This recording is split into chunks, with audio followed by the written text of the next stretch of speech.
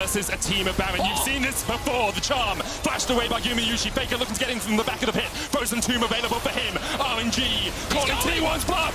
And Faker oh! finds them all.